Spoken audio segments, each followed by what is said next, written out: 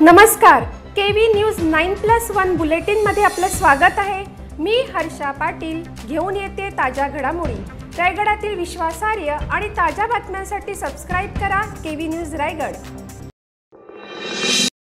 Alibag तालुक्याला कोरोनाचा विळखा घट्ट होताना दिसत असतानाच काल अलिबाग शहरातही कोरोनाचा शिरकाव झालाय. तालुक्यातील नवगाव येथे ठाण्यातून आलेल्या एका सत्तर वर्षीय वृद्ध महिलेला कोरोनाचा संसर्ग झालाय. अलिबाग तालुक्यातील कोरोना बाधितांची संख्या बत्तीस वर पोहोचली आहे. यापैकी दोघांचा मृत्यू झालाय. मुरुड तालुक्यात देखील एक नवीन कोरोना संसर्गित रुग्ण आढळला असल्याचं वृत्त आहे. लॉकडाऊनच्या चौथ्या टप्प्याची मुदत संपण्यास केवळ तीन दिवस राहिलेले असताना अजूनही देशात दररोज हजारो कोरोनाबाधित रुग्ण आढळत आहेत. देशात आतापर्यंत एक लाख अठ्ठावन्न हजार तीनशे तेहतीस कोरोना रुग्ण आढळलेत. तर चार हजार पाचशे एकतीस रुग्णांचा मृत्यू झालाय. जगात आतापर्यंत सत्तावन्न लाख एकोणऐंशी हजार व्यक्तींना कोरोनाची बाधा झाली असून तीन लाख सत्तावन्न हजारांवर रुग्णांचा मृत्यू झालाय. भारतात गेल्या पंधरवड्यापासून कोरोनाग्रस्तांची संख्या वाढण्यास सुरुवात झाली असून आरोग्य यंत्रणा चिंताग्रस्त आहे. कोरोनाचा संसर्ग रोखण्यासाठी सहा फुटांचं अंतरही पुरेसं नाही असा धक्कादायक निष्कर्ष एका संशोधनातून काढण्यात आलाय. कोरोनाच्या विषाणूंचा फैलाव रोखण्यासाठी सोशल डिस्टन्सिंग पाळलं जावं असं या वारंवार सांगितलं जातं.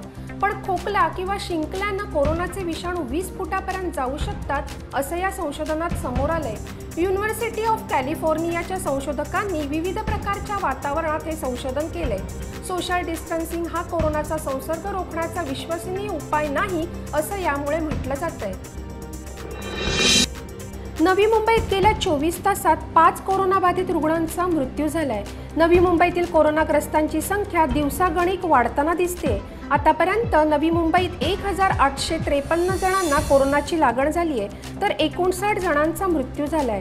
नवी मुंबई परिसरात आठ हजारांवर नागरिकांना घरी क्वारंटाईन करण्यात आलंय तर एकोणीस हजार नागरिकांनी क्वारंटाईनचा कालावधी पूर्ण केलाय. मुंबईतील कोरोनाचं संकट अधिकाधिक गडद होत असून आतापर्यंत मुंबईतील रुग्णांची संख्या छप्पन्न हजार नऊशे अठ्ठेचाळीसवर पोहोचली आहे तर एक हजार आठशे सत्त्याण्णव रुग्णांचा मृत्यू झालाय. मुंबईतील कोरोना रुग्णांची संख्या पाहता देशात सर्वाधिक रुग्ण मुंबईतच असल्याचं स्पष्ट होत असून आतापर्यंत अठरा हजार रुग्ण बरे होऊन घरी गेल्याचं आरोग्य विभागाकडून सांगण्यात येत आहे रुग्ण दुप्पट होण्याचा वेग आता चौदा दिवसांवर पोहोचल्याचा दावा करण्यात येत असला तरीही कोरोनाची धास्ती कायम आहे. राज्यात येत्या दोन दिवसापर्यंत म्हणजे तीस मे पर्यंत उष्णतेची लाट कायम राहील असा इशारा हवामान विभागानं दिलाय. या काळात विदर्भ मराठवाडा आणि मध्य महाराष्ट्रात कमाल तापमान सरासरीपेक्षा तीन ते चार अंशांनी जास्त राहील असा अंदाज आहे. राज्यातील सर्वाधिक साडे शेहेचाळीस अंश सेल्सिअस तापमानाची नोंद झाली आहे शुक्रवारपर्यंत दक्षिण अरबी समुद्रात कमी दाबाचं क्षेत्र निर्माण होण्याची शक्यता हवामान विभागानं वर्तवली आहे त्यानंतर उन्हानं होरपळणाऱ्यांना दिलासा देणारं वातावरण निर्माण होईल अशी शक्यता आहे. लॉकडाऊनच्या चौथ्या टप्प्यानंतर काय असा प्रश्न सर्वसामान्यांना पडला असताना चौथ्या टप्प्यानंतर लॉकडाऊनचा पाचवा टप्पा सुरू होणार आहे. लॉकडाऊनचा तिसरा टप्पा सतरा मे रोजी संपल्यानंतर काही प्रमाणात सूट देत लॉकडाऊन कायम ठेवण्यात आले. याच दरम्यान राज्यात रेड आणि नॉन रेड असे दोन प्रकारचे झोन तयार करण्यात आले. त्यानुसार अनेक व्यवहारांना सूट देण्यात आली. लॉकडाऊनच्या चौथ्या टप्प्यात शिथिलता मिळताच कोरोनाचा प्रकोप प्रचंड वाढतोय. त्यामुळे एकतीस मे रोजी लॉकडाऊन संपणार नसल्याचं दिसतंय. मुख्यमंत्री उद्धव ठाकरेंनीही याबाबत संकेत दिलेत. दहावीच्या परीक्षेच्या निकालाचा मार्ग आता मोकळा झाला असून लॉकडाऊनमुळे रखडलेल्या दहावीच्या भूगोल व दिव्यांग कार्यशिक्षण या विषयांची परीक्षा रद्द करण्यात आली आहे. या विषयांच्या गुणदानासंदर्भात शिक्षण मंडळानं पर्याय शोधला विद्यार्थ्यांच्या इतर विषयातील सरासरी गुणांचा विचार करून भूगोल या विषयाचं गुणदान केलं जाणार आहे. तर दिव्यांग विद्यार्थ्यांच्या कार्यशिक्षण या विषयाचं गुणदान अन्य विषयांच्या परीक्षेत मिळालेल्या गुणांची सरासरी विचारात घेऊन केले जाणार आहे. त्यामुळे आता लवकरच शालांत परीक्षेचा निकाल जाहीर होण्याची शक्यता आहे. चीनच्या आगळिकीमुळे भारतीय सीमेवर मोठ्या प्रमाणात तणाव निर्माण झालाय. लडाखच्या सीमेवर अक्साई चीन भागात चीनी लष्कराच्या हालचाली उपग्रहानं टिपल्या आहेत. कोरोनाचं संकट जगावर घुंगावत असताना युद्धखोर चीननं भारताला अप्रत्यक्षपणे आव्हान दिलंय. देशांतर्गत कोरोनाचं संकट आणि सीमेवर चीनच्या सैन्याची जमाजमा यामुळे केंद्रीय पातळीवर अस्वस्थता असून या संकटातून मोदी सरकार काय तोडगा काढेल याकडे लक्ष लागलंय.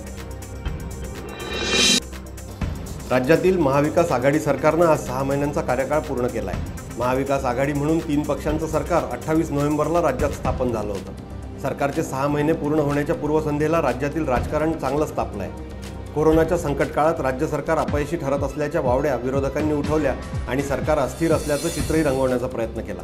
या सगळ्या पार्श्वभूमीवर महाविकास आघाडीनं हम साथ साथ आहे म्हणत एकजुटीनं सरकार चालवणार असल्याची ग्वाही दिली.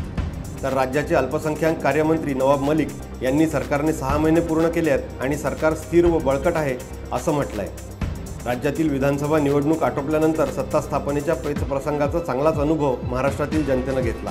दोन्ही काँग्रेस आणि शिवसेनेनं मिळून अनेक नाट्यमय घडामोडींनंतर राज्यात सत्ता स्थापन केली.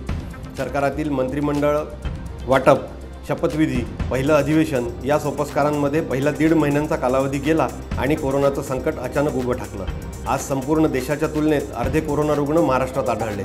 मोठ्या प्रमाणात कोरोना रुग्णांचा मृत्यू झाला आहे सरकारसमोर कोरोनाचं आव्हान असतानाच राजकीय डावपेच टाकण्यास विरोधी पक्षांनी सुरुवात केली आहे एकंदर महाविकास आघाडी सरकारसाठी पहिले सहा महिने अडथळ्यांच्या शर्यतीसारखेच कठीण ठरले.